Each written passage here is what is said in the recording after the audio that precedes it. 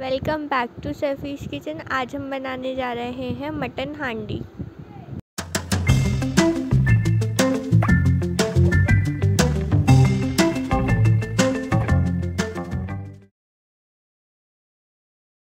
Mutton हांडी बनाने के लिए हमें चाहिए आधा किलो मटन, चार बड़ी प्याज दो लहसुन, दो से तीन तेज़पत्ते, दालचीनी, जायफल, जावित्री, चार से पाँच लौंग, चार से पाँच काली मिर्च, दो बड़ी इलायची, पाँच से छः हरी इलायची, तीन लाल मिर्च और तीन से चार हरी मिर्चें।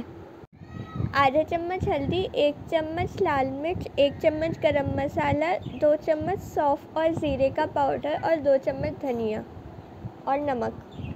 एक कप सरसों का तेल और एक चम्मच अदरक का पेस्ट। हम अपने सरसों के तेल को अच्छे से पका लेंगे जब तक उसमें से धुआँ निकलना शुरू नहीं हो जाता है।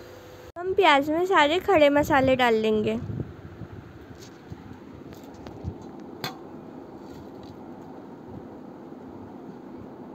हम इसमें बाकी मसाले भी डाल लेंगे और इसे अच्छे से मिक्स कर लेंगे।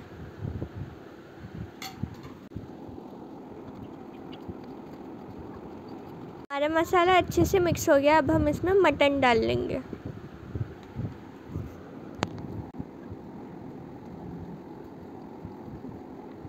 अब हम इसमें सरसों का तेल डाल लेंगे और तेल गरम गरम होना चाहिए।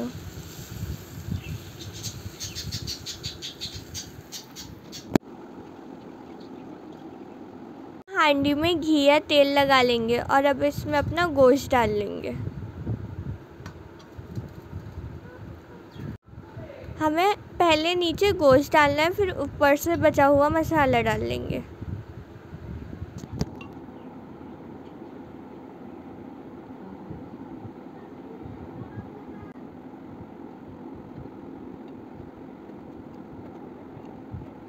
अब हम अपने हांडी के चारों तरफ़ आटा लगा लेंगे और इसे अच्छे से सील कर देंगे, जिससे इसकी स्टीम बाहर ना निकले।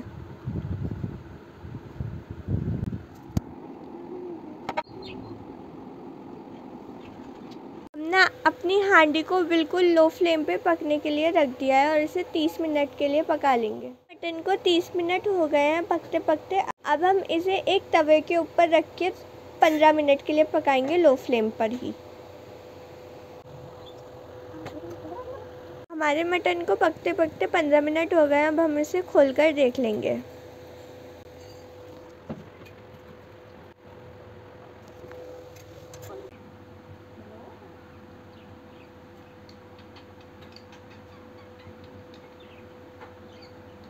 हमारा मटन भुन गया है, अब हम इसमें पानी डालकर इसको पका लेंगे।